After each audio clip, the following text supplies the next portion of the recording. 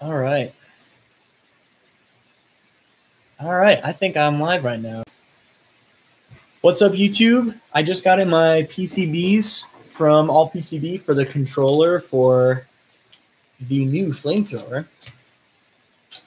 Check it out. I guess it's it's up there anyway. Um, but yeah, this is the new control board that's going to be controlling the new flamethrower, which I pretty much like just finished building. This monstrosity here has its uh, tank in right now. But I got them in. I also happen to get in all my like components, so I figured I would just make a video of populating it up. So I almost right off the bat realized that I made a mistake and I made this footprint right here for the um, like main microcontroller way too big. And I don't know how I did that. I thought I was like right on the money with it, but I didn't. I got, um, I'm using a 32U4. And the reason for that is I didn't want to deal with like an FTDI chip to program it. And I didn't want to deal with like an FTDI, like uh, one of these guys um, to program it. I guess it's probably easier to show here. One of the little FTDI like programmer guys, because it's just a pain to have to worry about keeping one around, and it's a lot easier if I can just plug into the board. Plus, I think it looks cooler, just like objectively. So, and you can see here my stupidity in picking a footprint was just like super not accurate. Oh, that's heartbreaking. So I think what I'm going to do is I'm just going to like tack it down with some glue and then do some really jank like wiring pin to pin because I don't have time to order a new board. And I'm pretty sure DigiKey does not. Um, they don't have that footprint for a 32U4. I don't know if they even make it in that. So I'm just going to roll the punches, learn my lesson. I don't spend nearly enough time looking at my footprints clearly because this is not the first time this has happened. So yeah, that's that's a real shame. But I got a lot of other fun stuff I'm going to populate, so that's good. I also decided like I really like picking like a standard that whenever I have to do a design or something, I just always go with that standard. So like recently I've been all about 440 screws. Like if I'm going to put something that needs like a heat set insert or I need some fastener that's like relatively small, I just default to having 440 and I have all kinds of 440 in stock. And I know off the top of my head the pass through di diameter and the heat set insert diameter. So if I can just memorize, where do I put my passives? I can just memorize like that one standard, it just makes it a lot easier. So I don't have to like keep checking back with one of them. Oh, my bag of passes.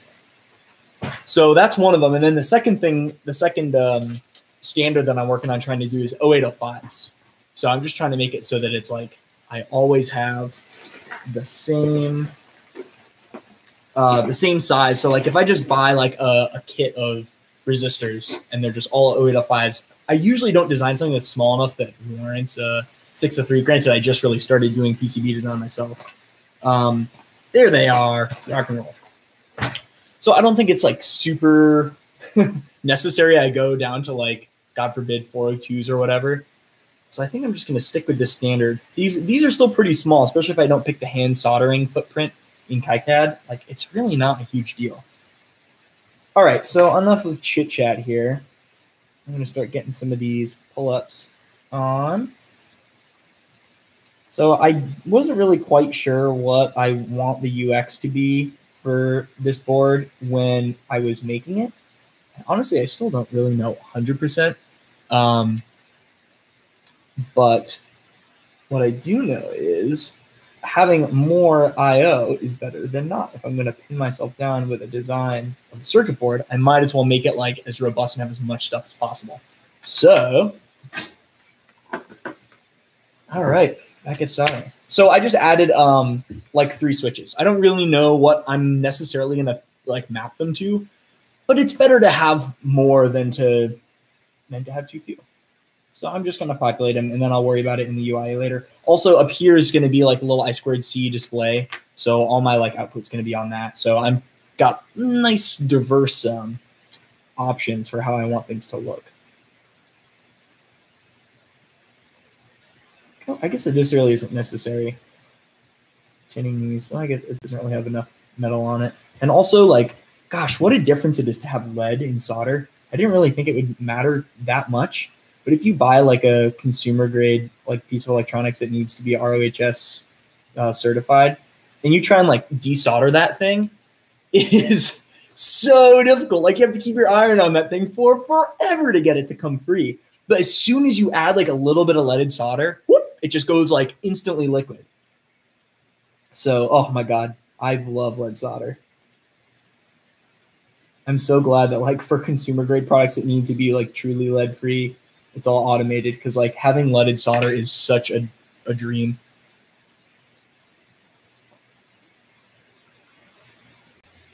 All right. I really do like the hand soldering pads for surface mount stuff. Like there's just such a good space for a gusset. I know it takes up like twice as much space, but you know, that is just really pretty.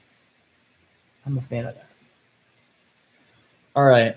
Yeah. Oh, so speaking of standards, another awesome standard that I'm like super jazzed about now is the Molex um, SL family of like connectors. It's just like if you just buy every kind of SL connector that they have, and you need one, you just like have a standard, and it's a 0.1 inch spacing, so it's like the same as normal pin headers. They're like interchangeable. Oh, they're the best. I got turned on to them at work. We use them for all kinds of stuff. It's these guys. Actually, it's probably easier here. So they're these like awesome little 0.1 inch spacing connectors, and they have a little latching mechanism. So, oh, I don't have the male ones here. Uh, I forgot to order those, but they have like a little latch that holds them in place. Oh man, they're just like the absolute best. And like it's it's also like another thing I've learned at work recently is like it's so much better to connectorize stuff if you can.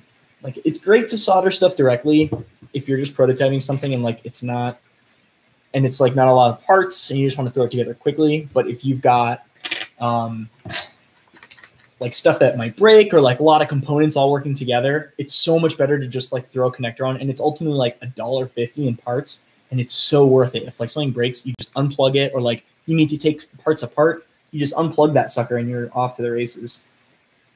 And uh, it also just looks so professional to have a tether like that. I just really I like the look of it. It's better to do it right and maybe have it be um, a little more expensive and take a little more time. But then, like down the road, if stuff goes wrong, oh, it makes it so much easier. Especially if you really want to get cheeky, you can make another one and then just have that connector, uh, like another module in case one breaks. Actually sticks up a lot. Um, and then have another one you can just plug in just in case. All right. So let me see. I, I like messed up a lot of stuff on this board. I, I did not I did not think this through nearly enough. But like some things that I messed up, like stupid little stuff, like this right here is actually a Pololu uh, five volt buck converter from down from the lipo, and like the holes are like a little too small. Like I made the footprint from scratch, and like I can't fit like a normal pin through it. So like just dumb crap like that. Um, oh yeah, like my diodes for the, the kickback on the solenoid, like I completely did not do that right. So I kind of have to bodge that a little bit, but that shouldn't be too big of a deal it will work. It's just not going to be as pretty as I'd like. it's not working as perfectly intended. But you know what? That's okay. Yeah, see, like these will go through here. I doubt they're gonna. I guess I could really try and persuade them. I guess that's all I really need. I can just remove the. Oh, there we go. Nice. Okay, sweet, sweet, sweet, sweet. That's awesome.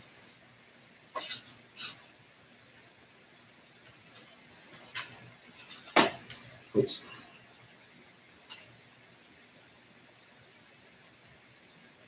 All right, rock and roll. Looks good.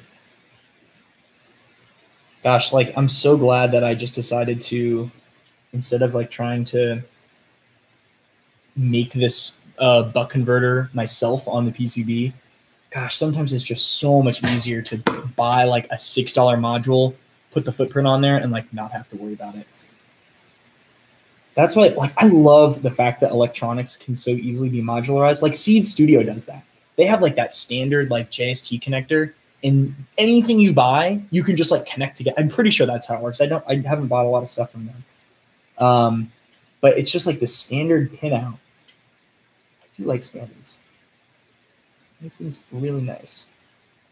All right, that's tacked in place now. Oh, this is so exciting. It's all coming together. Oh, you know what? I didn't even check to see what it looks like on the flamethrower. Okay, so it's going to go right here. Check it out. That looks so kick ass. oh, man. The whole black theme. Definitely worth the extra few bucks. Rock and roll. Oh, man, that is so awesome. Oh, man, I can't wait for this thing to be done. Originally, when I was working on like designing this thing, I was thinking about doing a um, like having removable magnetic panels. So right now it's all open. It looks like super exoskeletony.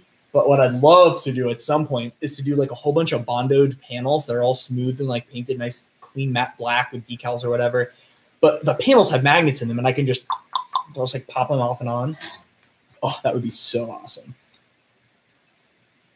That's just so much CAD. And also it's like an artistic thing. And I'm not that's not my forte. Well, it's not as much my forte. Like I can do hard edge model making, as Adam Savage says, all day, but like sculpting and like doing like pretty things, that's a little harder for me.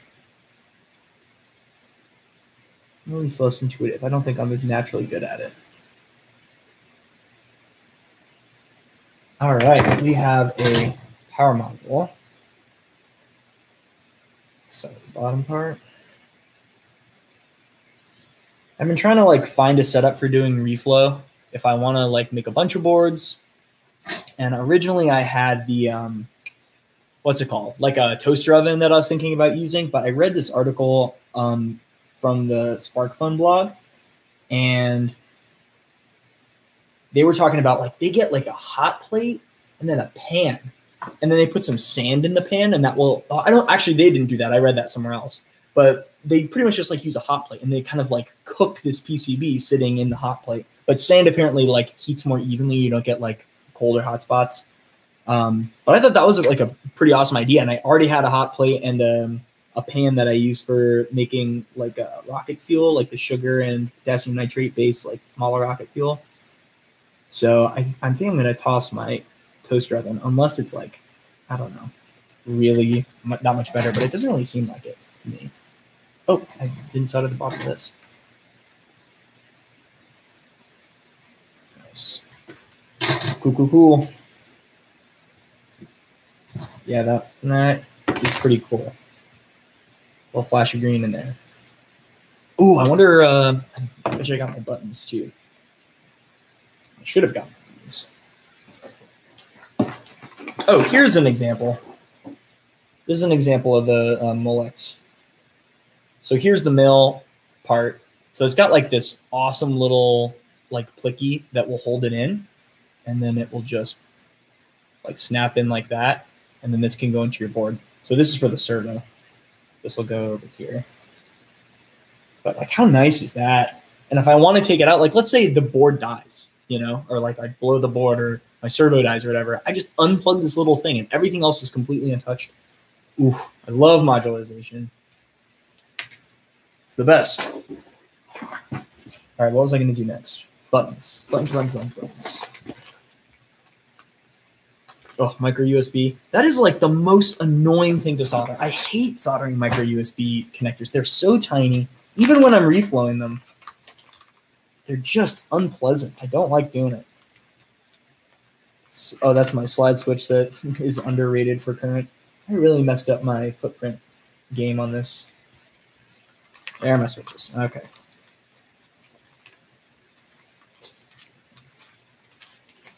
Awesome. Oh yeah, these are nice. These are better than the other ones I was going to get.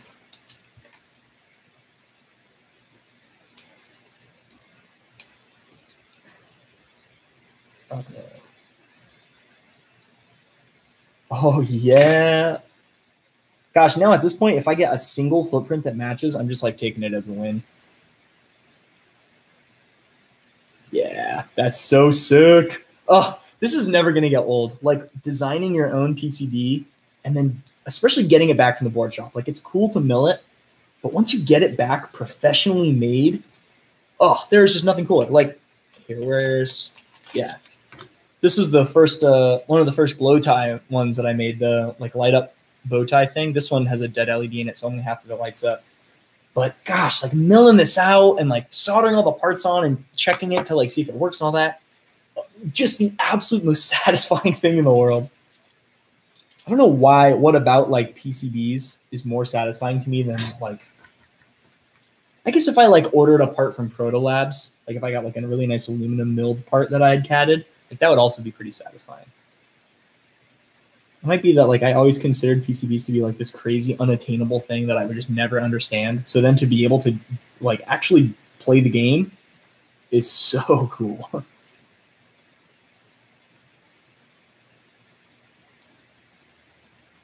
Yeah, these are nice. They got a good feel. I just hope actually that shouldn't be a problem. I was a little worried that like pressing down on this button while it's kind of mounted to my arm may like torque the whole thing a little bit, but one, it's pretty strong, and two, I have like the kink in my elbow to kind of provide um, a restraint from rotation around these axes. Like I have the whole structure on my upper arm to keep the whole thing from kind of twisting around the axes of my forearm. I'm really stoked about how comfortable it is too. I was I, on let's see what's today Monday, so two days ago on Saturday, I pretty much cruised the whole day and built like this whole thing. I had all the pretty much all the CAD done, but I am so stoked about how comfortable it is. I can move around like it hurts a little bit on my neck, the uh, strap, but I'll put like something soft on there so it's not killing me. But everything else is pretty pretty awesome. I feel like I could probably wear it for like at least a couple hours at a time, especially if I had a strap. But I'm think I'm thinking at Maker Faire I'll probably only end up doing like I don't know. Last time I brought a flamethrower, it was like 20 minute demos, maybe not even. Um, it's like not tremendously long amount of time.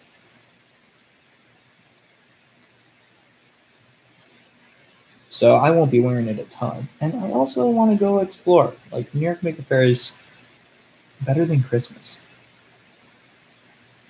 is my absolute favorite day of the year.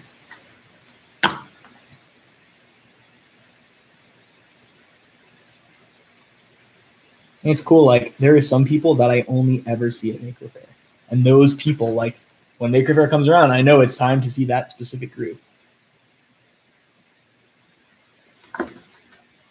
Oh, those look super crooked. Oh well.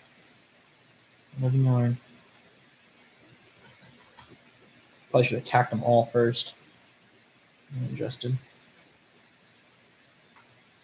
And it's so crazy to me too, like how cheap this was. I spent like thirty dollars in change, um, and I got five custom circuit boards in like, oh god, what was the turn on? Like five or six days. In less than a week, I had a test run of a board for like thirty dollars. That blows me away that you can do that. Oh, I should use my tweezers. That is just so cool. And that's all like I've heard a lot of arguments from people saying that it's like not worth to mill your own boards because uh, you can just you know spend thirty dollars and like get them shopped out. And while that is true, sometimes you want to test it right there, or sometimes you just need like a little breakout for like a really tiny surface mount component or even like okay, so well, I guess you could mill a board for that. But I don't know. Like sometimes you just want to dive into it, I guess. Also, if you have a milling machine that also enables you to do a lot of other stuff, etching, I guess, maybe would be super worth all the all the time. Like buying a dedicated printer to do the was it laser jet or whatever the process is to do it. Oh man, that's so cool. Testing on the forearm. Oh man, this is awesome. this is so cool. oh my god, I cannot wait to get this thing booted up.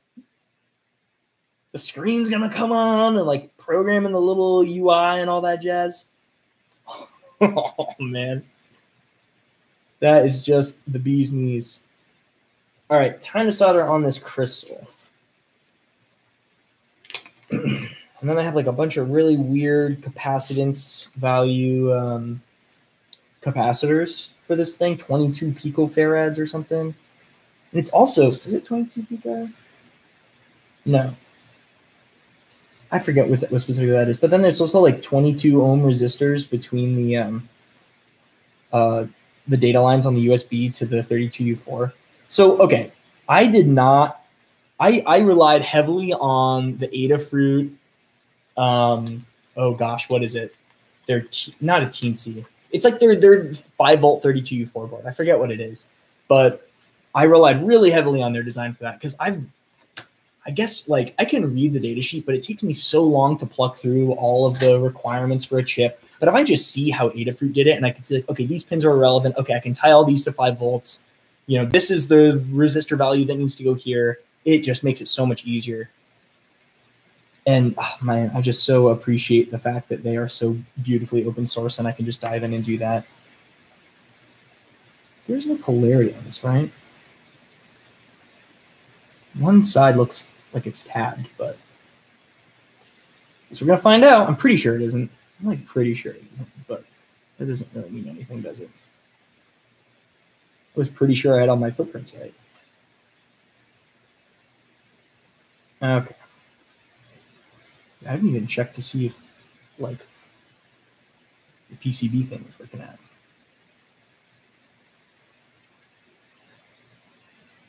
Okay, crystal. Awesome.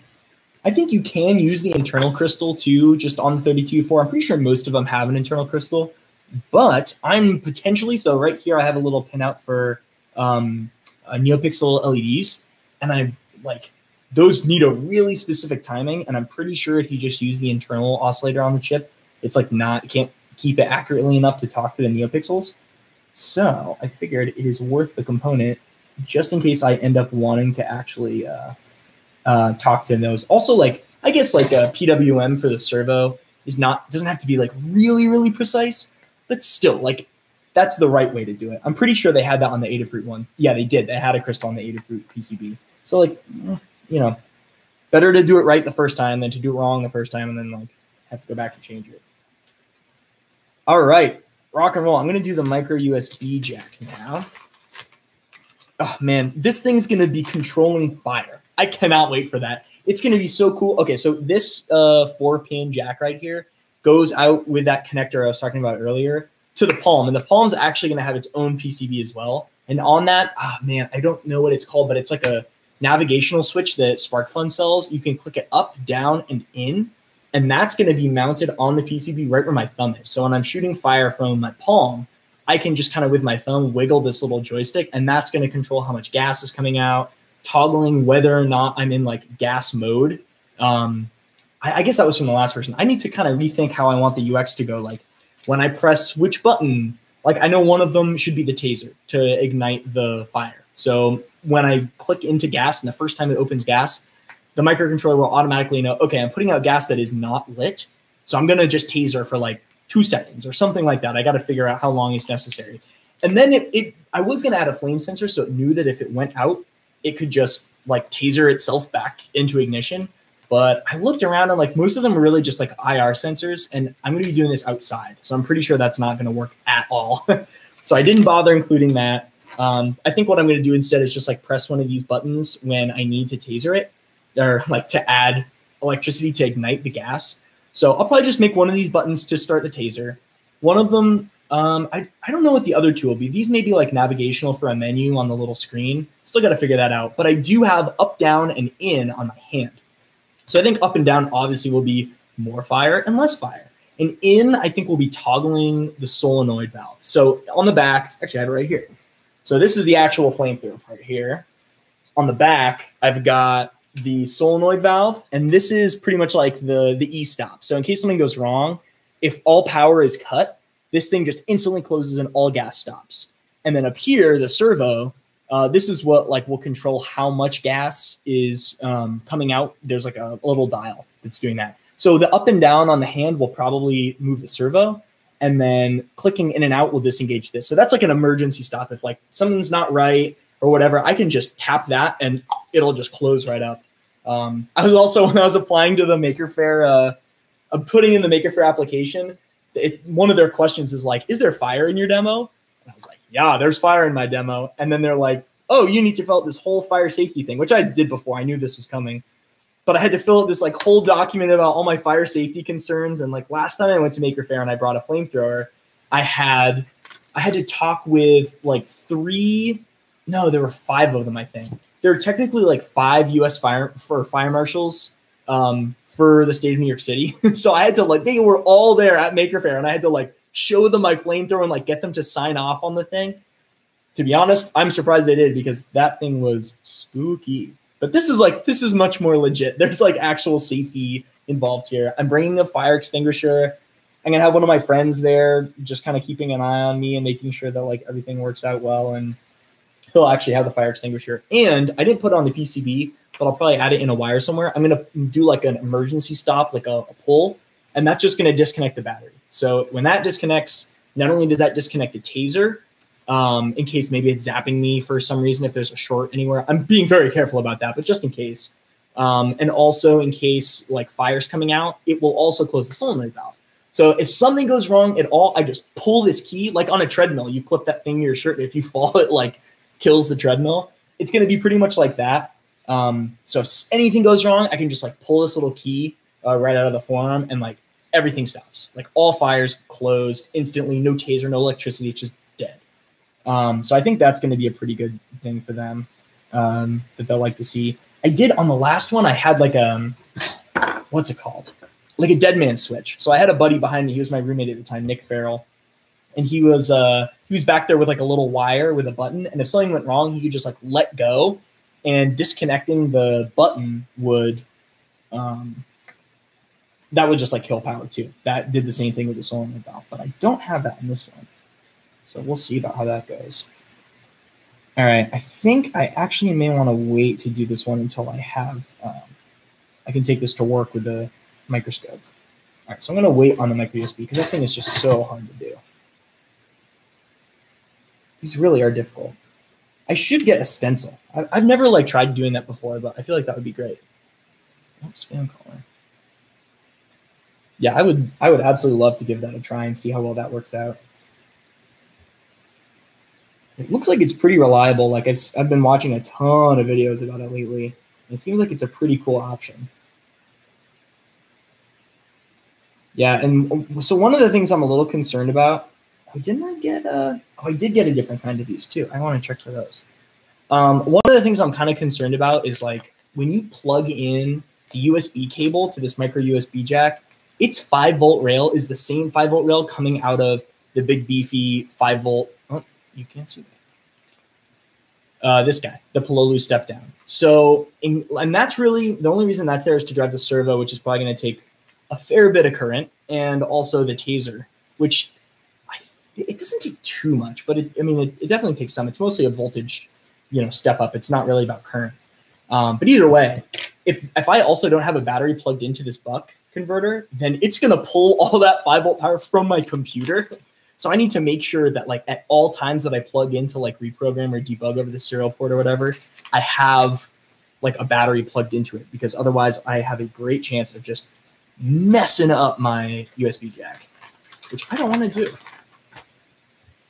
All right, so these are micro USB connectors that have little pins that go into the holes. The other ones that I was using were, there's my footprint. Uh, the other ones that I was using were just kind of like rounded on the bottom and they didn't have actual tabs that went through the PCB. But I like these in case the footprint does work because it's going to hold itself in place while I try and solder these just like ridiculously tiny little leads. Look at these little goobers. Uh, it's not focused. There you go. That's a little better. No, it's not. I'm just kidding. Yeah, they're like crazy, crazy tiny. But it's all good. All right, let's see if this fits here. I'm gonna be so stoked if this fits in. Oh yeah, there we go. Yeah, okay, that's fantastic. Oh, I'm definitely gonna use these from now on. Oh, that's great. Okay, cool. Never mind. I am gonna solder this. I forgot I ordered these. Awesome. I think so far I have not dropped too much money on this project, or at least this version. I've spent a lot of money on the whole thing, but like the PCBs were 30 bucks. you know, this was like twenty dollars with shipping from Pololu for the buck converter. The electronics, the sort of electronics for like 30 dollars. The aluminum was like I don't know, 20 3D printed parts, assorted servos and stuff. Like it has not been a lot.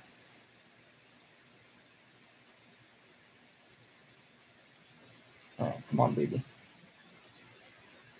I also keep my iron, I think, way too hot, so this should be too quick. Come on, dude. I believe in you. All right, sweet. Rock and roll. Yeah, I love these uh, ones with the pins that go through the board. And also, like, okay, so on the other versions of the glow tie, I don't know if I haven't put a video about this on my YouTube channel, but I have this thing that I've been building called the glow tie. And this one, this one's like one of the boards is broken, but it's essentially, or excuse me, not the boards, one of the LEDs is broken, but it's a, a bow tie that has an ESP8266 on it.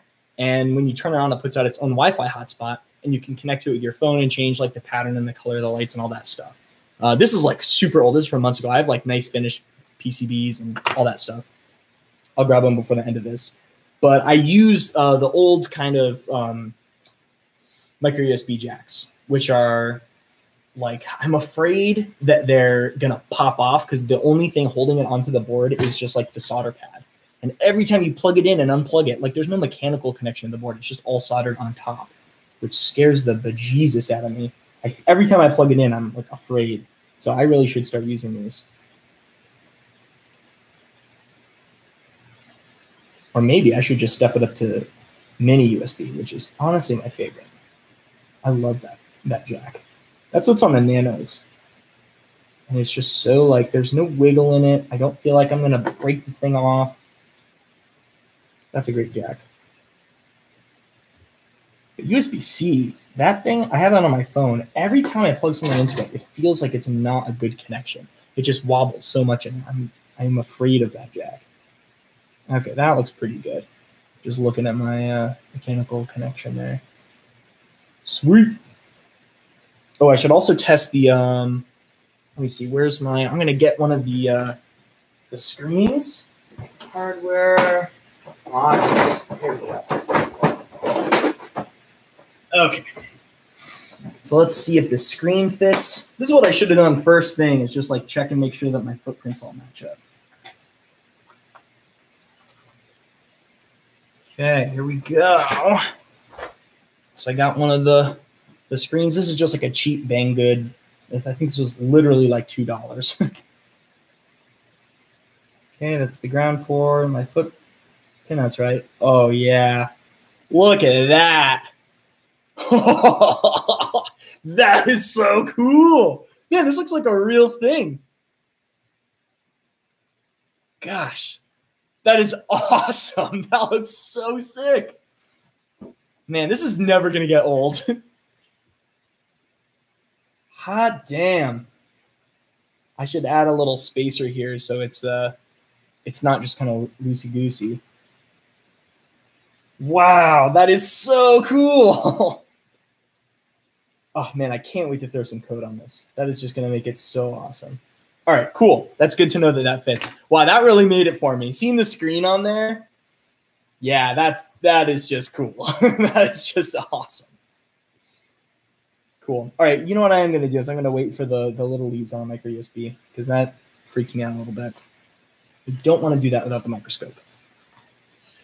What we can do is some more passives. I have a whole bunch of like pull up and pull down resistors that I got to pop on here. And I have like some capacitors I need to throw on as well. I'm probably only going to stream for like another like 10 minutes. I don't want to like make this is like my first pass at this. So I just kind of want to give it a whirl and like see how it goes. Oh, that's a 470.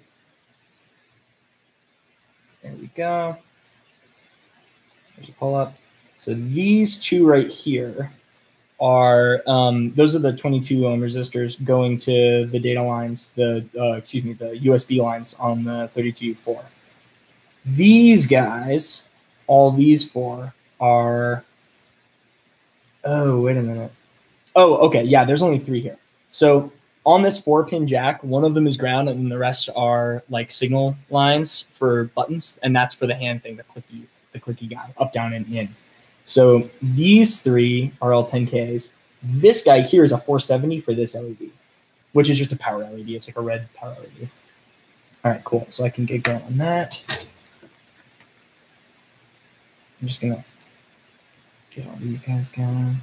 At work, I had to populate like 10 of these boards. They're like, I don't know, maybe four times the size of this in terms of like surface area.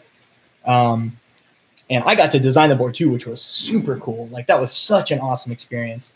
But yeah, I like I spent a lot of good time populating those boards and like learning. Apparently not enough because I still can't do it right.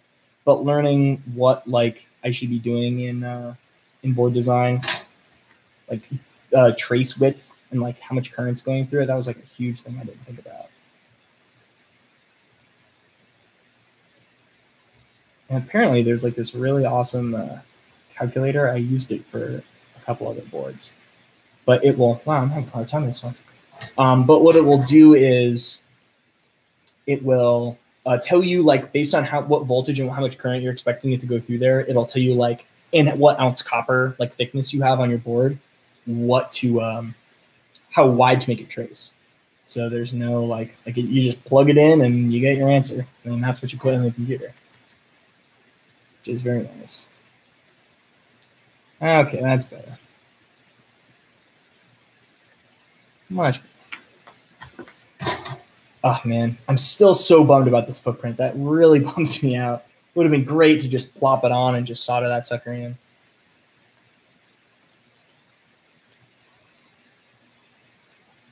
Okay. Give me a 10K. Give me a 10K.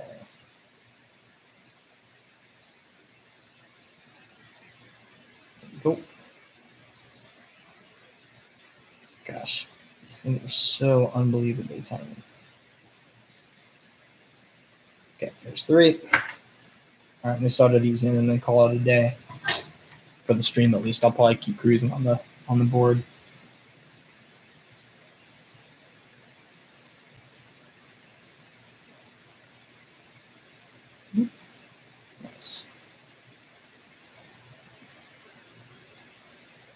I, you know what? Like, also in retrospect, I should have added like um on one of my spare GPIOs. I probably should have added a um just like a LED. Like on a lot of Arduinos, they'll have it on pin 13, just so you. It's like a if you upload Blink, you can just see if things are working. Like it's such an easy test, and it costs like three cents in parts. Definitely should have done that. I guess I have the screen, but like even then, that's still um that's relying on I- I2C to get that to work. So yeah if you got that. All right. So I'm going to call it after this. Looks like about 80% of my stuff fits, which is not great, but I just need to spend more time looking at my footprints in the future before I just pull the trigger and buy boards. But yeah, this thing is going to be awesome, especially with where did I put that screen? When that screen is in there, gosh, that just, here it is. It just looks so cool. And then when it's like controlling like fire being shot out of my palm. Oh, that is going to be so awesome. All right. All right. I'm going to call it. I'm going to keep cruising on this. Get really into the weeds on um, doing all the little tiny wiring connections for my incorrectly sized uh, footprint, but that should be fun. But yeah, cool. All right. I'm going to sign off here if I can figure out how to do it. All right. Adios.